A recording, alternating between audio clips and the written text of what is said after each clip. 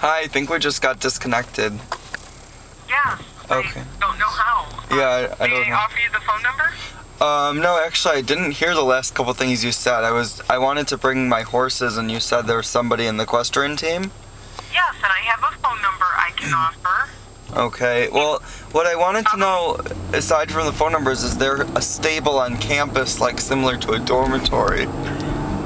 And I'm not sure that there is. We have horse research, but I don't know that they allow accommodations for horses that are not in the program, the research program.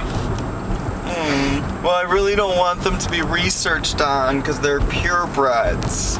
I understand. However, I don't know that with the university has stables for More and more. individual horses.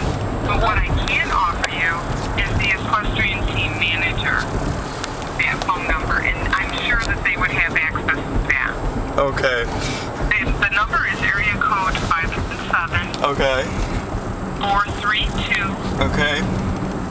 24 Two four. 5 Wait, I didn't get the last two digits.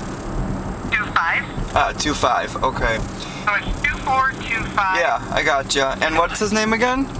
His name is Robert Cook. Robert Cook. Okay, and I know this is sort of a weird question, but where I'm from, people like can ride their horses to class to, to school.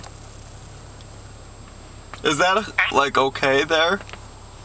No, I would not recommend that. Only because. Have you ever been on campus? Yeah.